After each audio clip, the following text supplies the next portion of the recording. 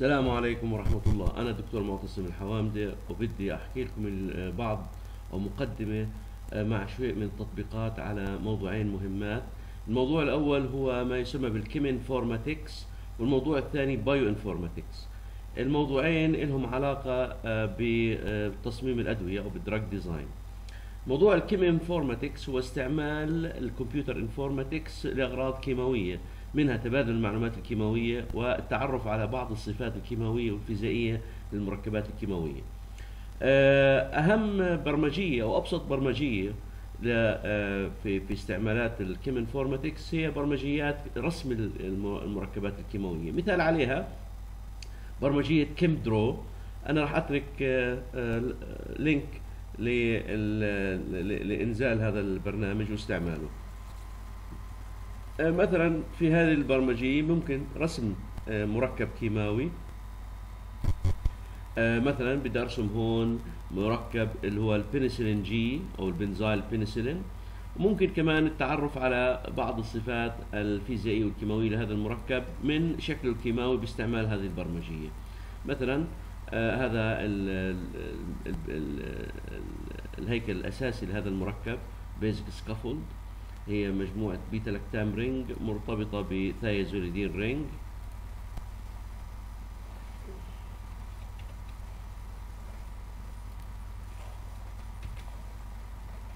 هنا هون sulfur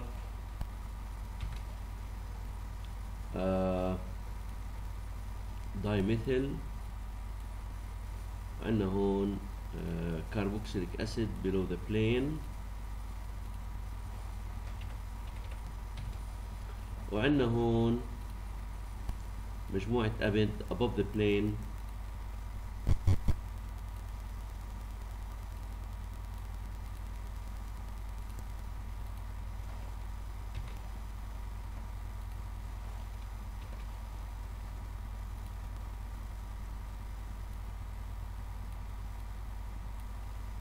هذا ال benzylpenicillin بإمكاننا نرسم benzylpenicillin أو بإمكاننا ننقله ونحطه في أي document بواسطة ال copy paste order مثلا هذا ال benzylpenicillin بإمكاننا نستعمل هذا البرنامج حتى آه، نعرف ال stereochemistry مثلا هون في عندنا 2 hydrogens below the plane.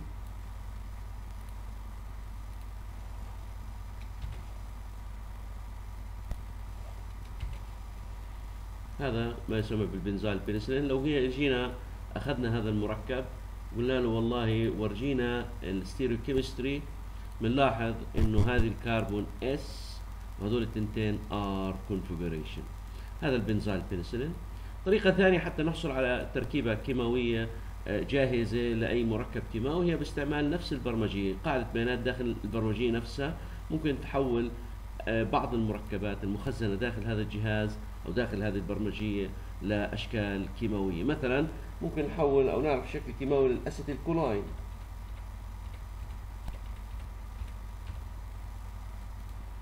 هذا ال acetylcholine أو الشكل الكيماوي للأتروبين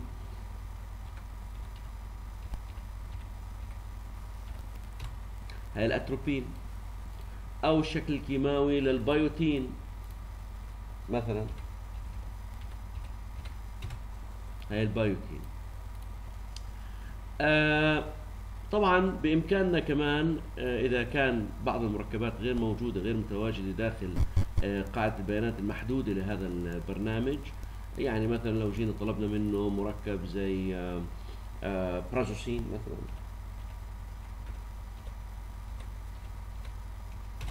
مش ما فيش prazosin فبإمكاننا ننزل أي مركب كيماوي آه، ل- آه، دوائي أو ممكن يكون دوائي في المستقبل القريب يعني drug candidate ممكن ننزل التركيب الكيماوي من النت. آه، أسهل المواقع اللي ممكن نحصل عليها على التركيب الكيماوي هو موقع بسيط مثل ال- الويكيبيديا مثلا prazosin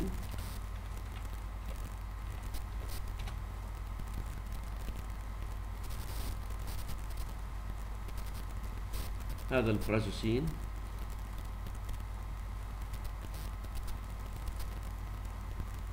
هذا التركيب الكيماوي لل prazosin إذا حابين نرسمه باستعمال البرمجيه نفسها بإمكاننا آه، ننزل عند SMILES SMILES عبارة عن طريقة خطية لرسم المركبات الكيماوية مفهومة في أجهزة الكمبيوتر آه، وهي طريقة عامة. ممكن نختار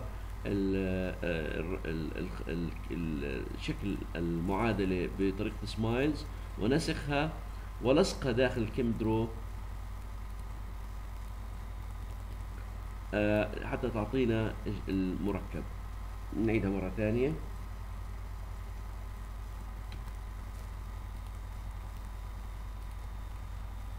هون.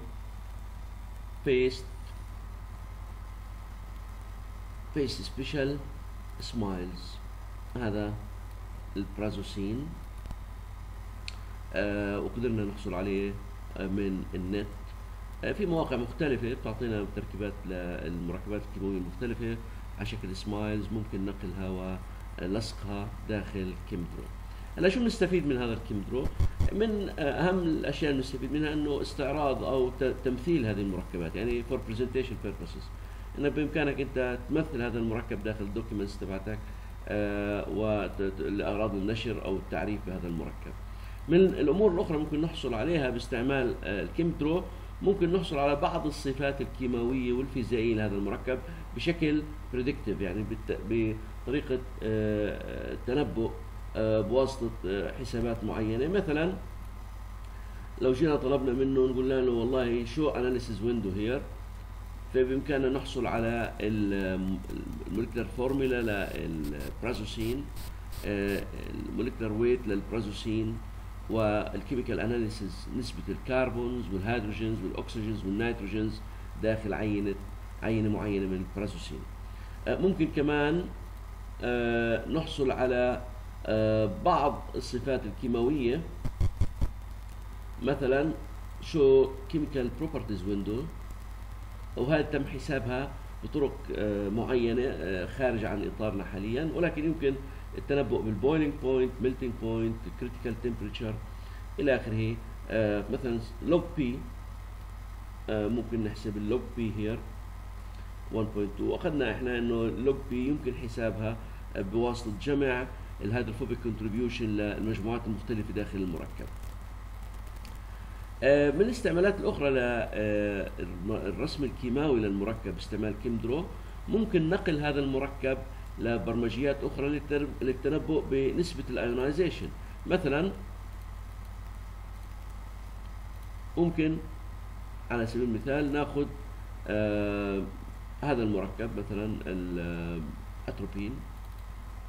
نعرف إن الأتروبين عليه أمين والأمين هذه البي كي تبعتها 9.5 معناها في biological pH it will be mostly ionized. خلينا نطلع على نسبة التأين اللي, آه، اللي لازم ياخذها هذا المركب under physiological pH لهذا الغرض بنستعمل برنامج ثاني اسمه مارفن وعلى Marvin View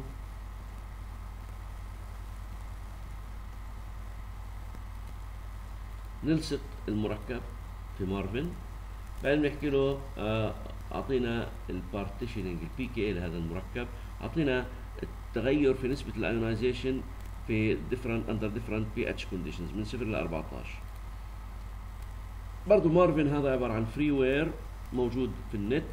أنا راح أترك link له آه، في أسفل الصفحة. نلاحظ آه هذا المركب اللي هو الأتروبين. في له ثلاث أشكال الأول والثاني والثالث. الأشكال الثلاثة. هذا غير متأين الشكل الثاني متأين على الأمين. الشكل الثالث متأين على ال hydroxy. هاي الأشكال الثلاثة لهذا المركب. نلاحظ على بي اتش 7 هاي البي اتش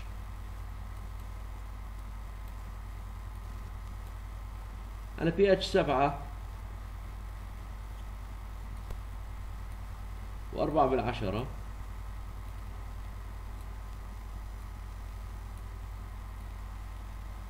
نسبة التأين للنوع الثاني أعلى شيء 98% اللي هو هذا النوع.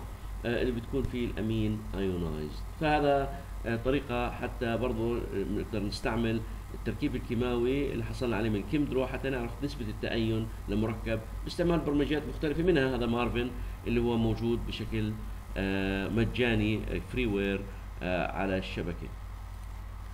آه مثال ثاني ممكن ناخذ مركب ثاني آه زي ال prazosin. لاحظ ال prazosin ما عليه عليه amide. وعليه هاي ال triazine ممكن تتأين هذه. خلينا نشوف نسبة التأين لل prazosin على ال physiological pH. بنفس الطريقة خلينا نطلع على Marvin View.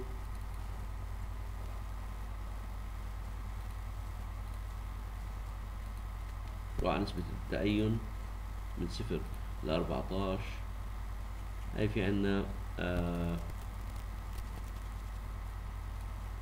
على سبعة وأربعة بالعشرة.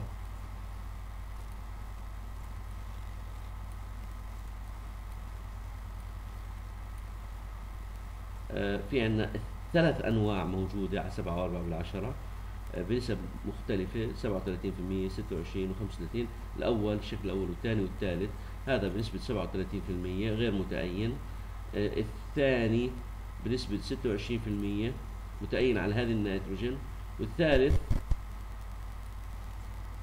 بنسبة 35% متأين على هذه النيتروجين. يعني في معظمه هو في عندنا 37% unionized في عندنا بعض ال ionization على آه هذه ال nitrogens اللي هون لأنه هذه بسموها آه guanidino type ولكنها aromatic guanidino type nitrogen you, you might see some degree of ionization because it's aromatic it's not greatly ionized. آه هذا من استعمالات آه الحصول على التركيب الكيماوي للمركب. ممكن نستعملها حتى نحصل على معلومات عن هذا المركب مثل ال log P زي ما شفنا قبل شوي مثل degree of ionization ممكن نحصل برضه على معلومات أخرى زي ال melting point وال boiling point وال molecular mass يعني هذا المركب مثلا ال log P تبعته واحد سبعة وأربعة واحد أربعة وسبعين في المية اللي هو البنسلين G طيب إيش ممكن كمان نحصل من من برمجيات الرسم الكيماوي على معلومات إضافية. من المعلومات المهمة اللي ممكن نحصل عليها هي الشكل ثلاثي الأبعاد لهذا المركب. خلينا نستعمل برمجية ثانية برضه ال shareware freeware موجودة أونلاين راح أحط لك link لها في أسفل الصفحة. منها برمجية DS Visualizer Discovery Studio Visualizer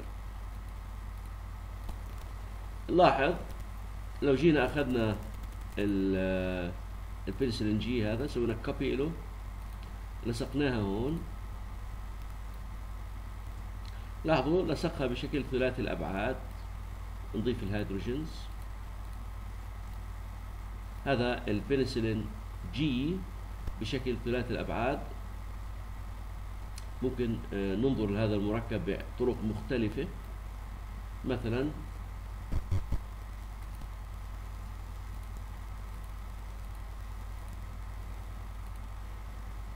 بدي أضيف الأدوات المختلفة للشاشة حتى أسهل النظر وأسهل ال presentation هذا.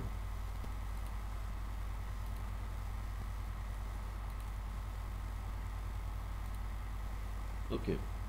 لاحظوا معي ممكن أنا أنظر هذا المركب بطرق مختلفة مثلا ك sticks أو ك balls. أكثر طريقة realistic قريبة للواقع هي طريقة النظر باستعمال ال CPK اللي هي هي الطريقة ال CPK هي أحرف الأولى من ثلاث علماء Corey Pauling and Koltun. وهي طريقة تعطي شكل ثلاثي الأبعاد للذرات يتناسب مع حجمها الطبيعي في الحقيقة. يعني مثلا لاحظ ذرة ال sulfur كيف كبيرة؟ أكبر كثير من ذرة الهيدروجين مثلا. ذرة النيتروجين ذرة الأكسجين. هذا شكل حقيقي. الشكل الأكثر استعمالا هو sticks. هاي لأنها تعطي معلومات دقيقة عن شكل المركب.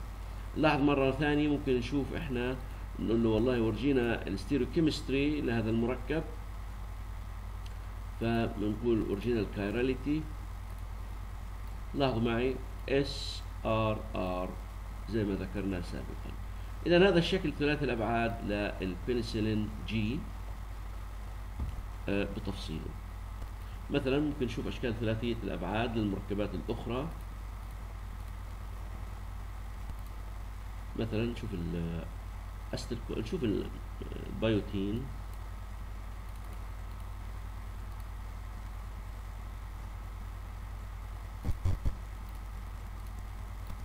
هذا البيوتين. لاحظوا عند إضافة ال structure يكون خالي من ال hydrogens بإمكاننا نضيف ال hydrogens. هذا شكل البيوتين. ممكن استعراضه على شكل sticks زي ما قلنا آه، في السابق.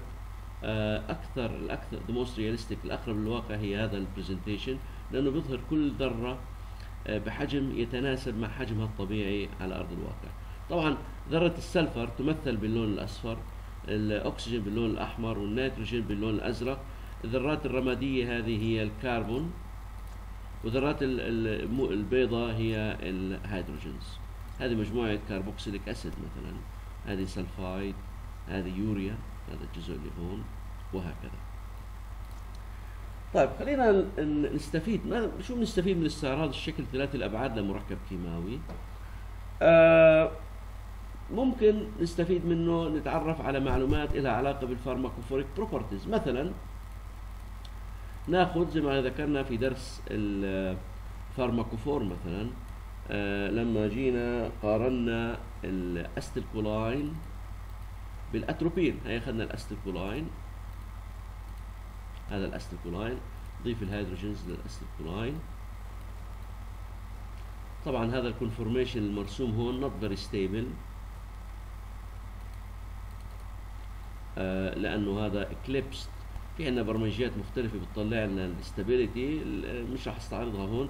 راح أنا احوله staggered conformation ب rotation حوالين هاي ال bond هاي ال staggered this is the most stable conformation for acetylcholine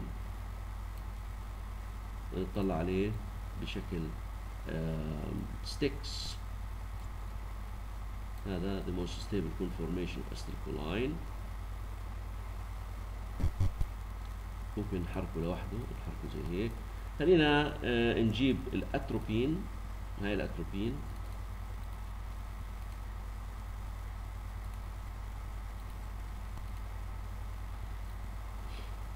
نفس الشيء خلينا نستعرضه ب sticks نضيف عليه ال hydrogens. طلع على الأتروبين كان نختار لوحده وبال control نحركه لوحده. بإمكاننا نكبر ونصغر الصورة باستعمال هذا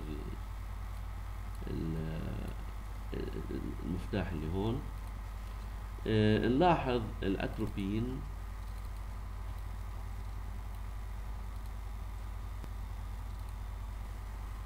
نختاره زي هيك. وبال control نتحكم فيه لوحده. هذا الأتروبين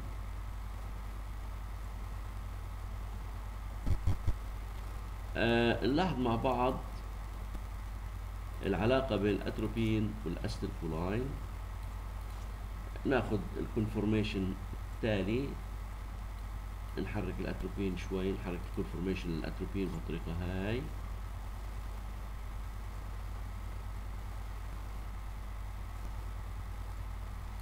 ونحرك ال conformation لل acetylcholine بالطريقة هاي. لاحظوا معي؟ بدي اخذ ال acetylcholine وأضعه فوق الاتروبين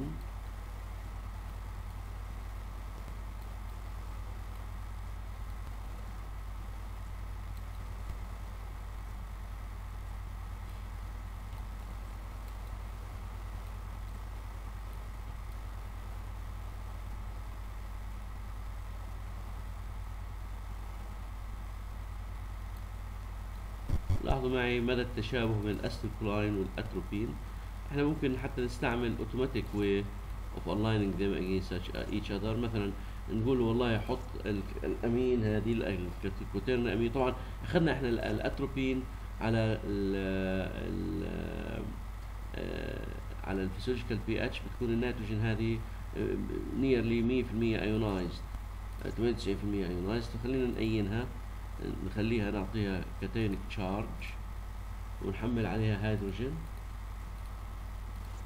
آه لاحظ مع بعض لو جينا قلنا والله آه خلينا نربط هذول التنتين nitrogens مع بعض وال oxygens مع بعض اللي على الاتروبين على ال acetylcholine ونشوف هل بقدر نركبهم يركب المركبين هذول فوق بعض بدقة ولا لا. لاحظوا معي؟ المركبين كانوا قراب جدا لبعض ضمن آه، مسافة جدا قريبة لل pharmacophoric features للمركبين متطابقات. يعني في عندنا زي ما أنتم شايفين لل للاتروبين الأمين أو الأمونيوم في الاتروبين والأمونيوم في ال acetylcholine والإستر في الأم في ال acetylcholine والإستر في الأمونيوم متقاربات جدا في المسافة. زي ما ذكرنا حتى لما جينا نقيس المسافة آه مثلا من هون لهون خمسة angstroms. من هون لهون آه ثلاثة angstroms تقريبا. من هون لهون أربعة أو ثلاثة بالعشرة. من هون لهون أربعة angstroms. المسافة يعني من الناتجين هاي لل average distance اللي هون تقريبا تعادل المسافة من النيتروجين هاي لل average distance يعني لو أخذنا النيتروجين هذه للكربون اللي هون قديش المسافة؟ 4 6 بالعشرة. والنيتروجين هاي للكربون اللي هون المسافة كمان 4 2 بالعشرة. إذا في عندنا تطابق تام بال pharmacophoric requirements لهدول المركبين. مثال ثاني آه برضه ممكن نستعمله آه أو نستنتجه من الشكل ثلاثي الأبعاد للمركبات الكيماوية الدوائية. آه مثال أخذناه في المحاضرة اللي هو الأستروجين أو الاستراديول مع ال diethylstilbestrol خلينا نرسم الاستراديول اذا موجود داخل ال database لبرمجية ChemDraw. هاي الاستراديول موجود. ال diethylstilbestrol قد لا يكون موجود. خلينا نجرب. trans. diethylstilbestrol مش موجود. فهذا خلينا ننزله من الانترنت.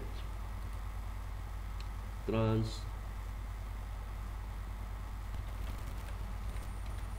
diethyl stilbestrol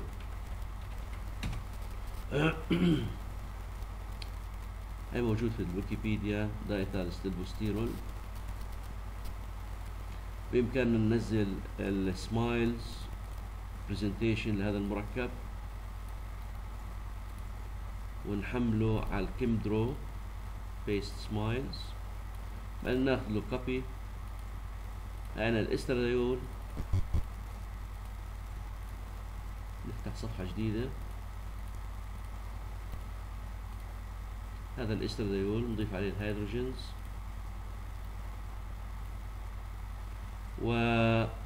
ونستعرضه بشكل sticks. نطلع على ال trans diethylstilbestrol نلصقه. نستعرضه على شكل sticks نضيف له ال hydrogens. هاي المركبين هذول. أخذنا في المحاضرة ان المركبين بحققوا نفس ال pharmacophoric requirements اثنين estrogenic they bind to female sex hormone estrogen receptor. آه لو جينا نطلع نحاول نسوي overlay نحط المركبين فوق بعض ونشوف uh, do they satisfy the same pharmacophoric requirements or not. خلينا ناخذ ال hydroxy اللي هون مع ال hydroxy اللي قبال هاي في الاستراديول نسوي tethering الهم وال hydroxy اللي هون مع ال hydroxy الثانية اللي في ال diethylstilbestrol نعمل tethering نقول له overlay هيركب المركبين تماما فوق بعض. حتى بإمكاننا نسوي additional overlay مثلا هذه مع هذه. نقول له اوفرلي فوجدنا إنه the both compounds have two hydrogen bond forming centers and hydrophobic distance. That's why the two molecules act as estrogenic in their nature. One of them synthetic and the other one is natural. آه لو جينا نقيس المسافة between the two hydroxyls مثلا آه تطلع حوالين 12 13 انجستروم يعني لو اخذنا من ال H لل H 13 ونص angstroms هيها 13 ونص angstroms ناخذ بين ال H وال H اللي هون تطلع اقصر شوي 11 انجستروم so this is another application for uh, the three-dimensional image of structural molecules. You can actually appreciate how molecules are built and distributed in space and whether they can fit in certain receptor or not. Uh, so this is uh, an introductory to uh, chem informatics uh, whereby we use in computer informatics techniques to uh, uh, visualize chemical structures, analyze their properties like melting point, boiling point, log P, other properties, um, uh, the degree of ionization, and to appreciate their three-dimensional shapes and whether they fit the same uh, pharmacophoric requirements or not. The next session will be uh, about bioinformatics. Thank you very much.